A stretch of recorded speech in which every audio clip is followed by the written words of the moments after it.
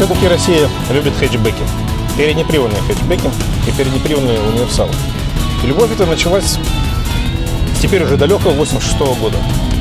Тогда на рынок страны Советов пришел абсолютно новый автомобиль, переднеприводный, это была восьмерка.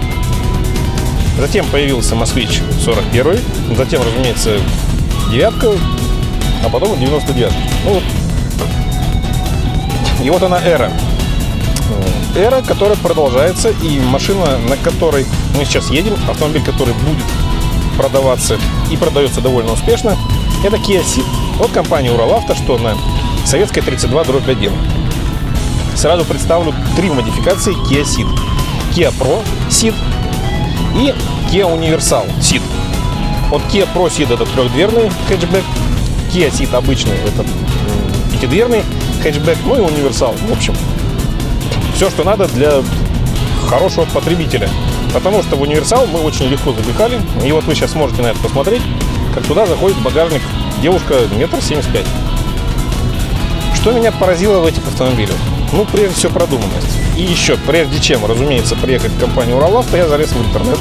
И скажу вам честно, э, на американский сайт немногие корейские машины представлены в Соединенных Штатах Америки. Kia представлена в полной гамме, ну, слегка с другими названиями.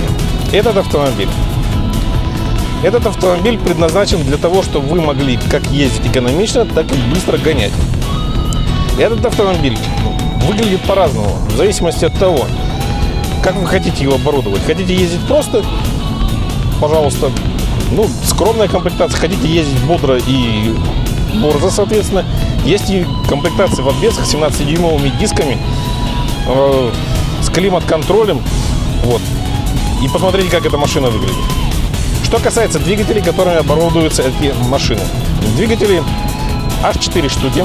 Два бензиновых, два дизельных. Коробки аж 3 штуки. Пятиступенчатая, э, шестиступенчатая механка и четырехступенчатый автомат. Я лично бы порекомендовал ну, девушкам, которые имеют достаточно ну, красивые большие пропорции, вот такой автомобиль, потому что ну, хватает места, действительно здорово. Эм, для тех, кто хочет погонять, есть такой вариант. Надо, так, конечно, машину подзаказать. Двухлитровый турбодизель, да? Вот у меня есть двухлитровый турбодизель, который выкачивает 140 лошадиных сил. Но представьте себе, это он джип хорошо очень катает. Весом почти 2 тонны. А как, допустим, Kia Pro Ceed с двухлитровым турбодизелем будет летать на механке? А? Вот так вот будет летать. Ну, для того, чтобы показать этот автомобиль в деле, мы решили съехать еще и на проселочную дорожку. Поэтому, если камерка будет потрясывать, ничего страшного. Вы знаете, вот даже не задумываясь, съезжаем. Сколько машина реально стоит? Ну, машина стоит тех денег, а деньги начинаются от 550 тысяч рублей, ну, плюс-минус комплектации, минус с подарками, разумеется. Топовая версия, ну, это 700 тысяч. Я вам скажу, что кризис неплатежей, который немножко нас так, немножко поддалбливает, это что касается другой программы телевизионной. Почему-то я думал, что строители, они более такие ответственные люди. Так вот, он не затронет автолюбителей. Потому что и банки кредитуют, и машины хорошие. А в завершении я хочу сказать, что приобретая автомобиль Kia, вы приобретаете, наверное, тот единственный вариант, который 5 лет и 150 тысяч пробега имеет гарантию. Я такого, честно говоря, не видел нигде. Ну что же, вот мы и покатили по полю. И катим-то очень даже спокойно. А вы спокойно прикатываете в Уралавто, что на Советская 32 дробь 1, и приобретаете вот такой автомобиль. Вы любители хэтчбеков. Ох ты, я даже юбкой не задел. Да, неплохо, очень неплохо.